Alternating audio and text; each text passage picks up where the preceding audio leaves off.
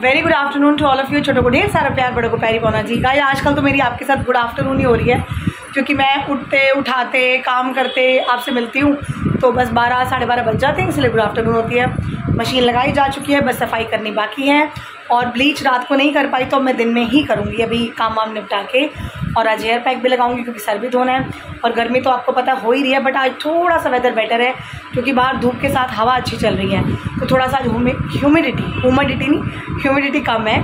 और मैंने वो जो आपको ड्रिंक का बताया था वेट लॉस के लिए उसके लिए मुझे बहुत सारे थैंक यूज़ आए हैं व्हाट्सअप पे। आ, मेरे यूट्यूब चैनल पे नहीं आए सारे व्हाट्सअप पे आए हैं।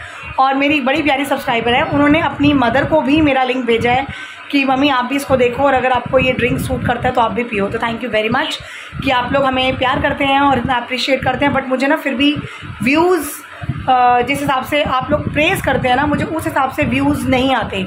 तो मुझे नहीं पता टेक्निकलिटीज़ क्या होती हैं, किस तरह से हम अपने चैनल को बूस्टअप कर सकते हैं या हम क्या और चीज़ें कर सकते हैं जिससे व्यूज़ ज़्यादा आएँ तो मुझे कुछ नहीं पता।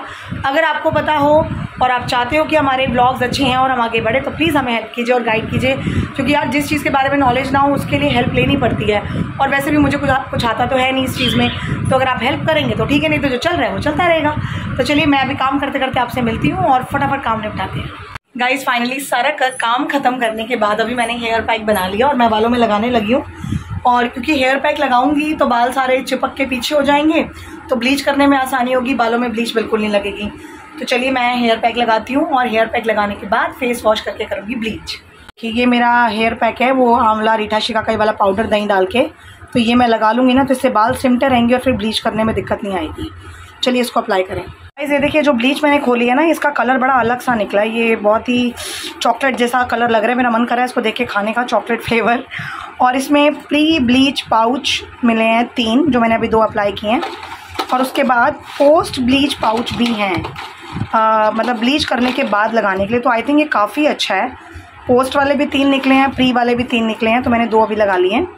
और कलर बहुत ही खूबसूरत है। ये कोई भी आपका, क्या बोलते हैं उसको? पेड प्रमोशन नहीं है तो मैं आपको एक्टिवेटर भी दिखाती हूँ। ये रहा इसका एक्टिवेटर। एक्टिवेटर तो जैसे नॉर्मल होता है, वही है। तो बस मैं इसमें मिक्स करके थोड़ा सा बस। तो ये मैं अब अप्लाई कर लूँगी फेस पर और फिर आपसे मिलूँगी अब नहा धोकर। गाइज़ मैं आपसे मिली थी दोपहर को जब ब्लीच क्रीम घोल रही थी। उसके बाद आरब अभी आया खेल कूद के। और अभी मैं बच्चों को पढ़ाने के बाद आपसे मिली हूँ। और टाइम नहीं लगा एक्चुअली थोड़ा लेट हो गए थे खाना वाना खाने में। तो इसलिए अब सवा सात बजे मैं आपसे मिल रही हूँ और बच्चों की छुट्टी भी थोड़ी जल्दी हो गई, काम जल्दी हो गया था इसलिए। तो ब्लीच काफ़ी अच्छी है यार, मैं आपको रिकमेंड करूँगी, ज़रूर आप यूज़ कीजिए क्योंकि बिल्कुल केमिकल फ्री था। और सबसे अच्छी बात पता क्या लगी? जो खुशबू है ना, उसकी इतनी अच्छी, इतनी ज़बरदस्त है नेचुरल फ्लावर जैसा एसेंस था।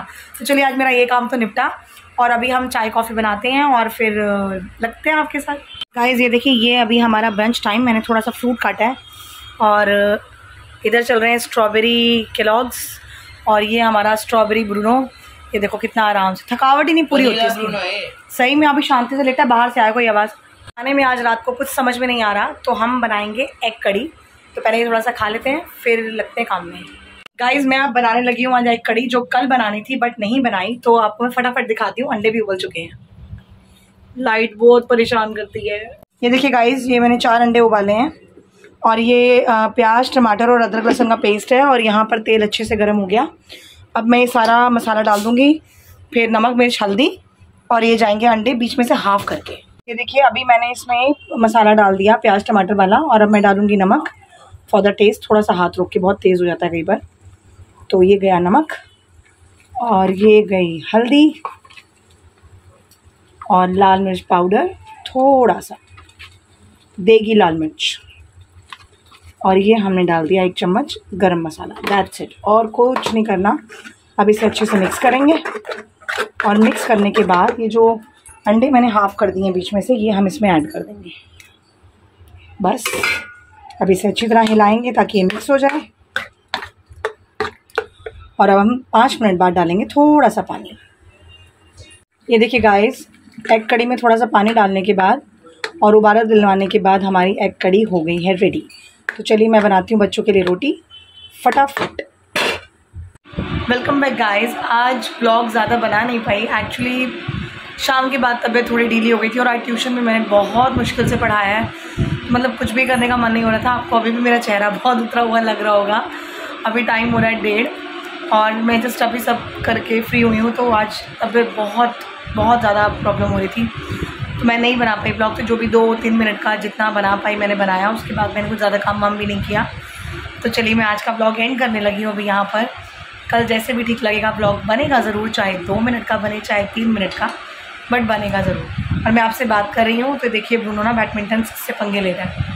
और एक चीज़ और मैं आपको बताना चाहती हूँ, जो मेरा पर्सनल एक्सपीरियंस रहा है लाइफ की हर्डल्स को लेकर प्रॉब्लम्स को लेकर फाइनेंशियल स्ट्रेस को लेकर, बहुत चीज़ें अप्स एंड डाउन्स होती हैं, आज भी हैं और आगे भी रहेंगी, हमें पता है because it's a life so ये अप्स एंड डाउन्स होते रहते हैं but there is always a solution you should have a faith in God भगवान को ज़रूर माने। और I am a believer in God मैं बहुत मानती हूँ भगवान को। तो इसलिए जो भी अप्स एंड डाउन होते हैं, मैं सब उन पर छोड़ देती हूँ। मैं कभी भी कुछ नेगेटिव थॉट्स अपने माइंड में नहीं आना, आने देती कि ऐसा हमारे साथ क्यों, या हम ही क्यों? बिकॉज़ बहुत सी ऐसी टेंशन है जिनसे हम बहुत आगे बढ़े हैं। तो इसीलिए लाइफ में कुछ भी अप एंड डाउन हो, कभी भी आपको कुछ घबराहट हो, कुछ मुश्किल लगे तो हनुमान चालीसा ज़रूर पढ़िए। It has very spiritual power मतलब सच में इसमें इतनी पावर है।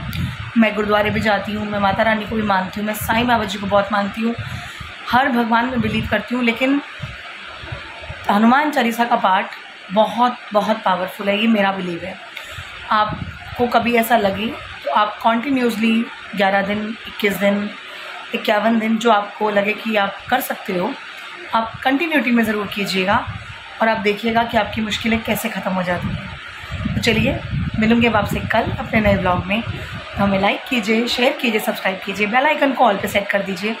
और जैसे जैसे जो जो मेरे साथ होता है, मैं सब आपके साथ डिस्कस करती रहती हूँ and that is why I call you my family so good night take care bye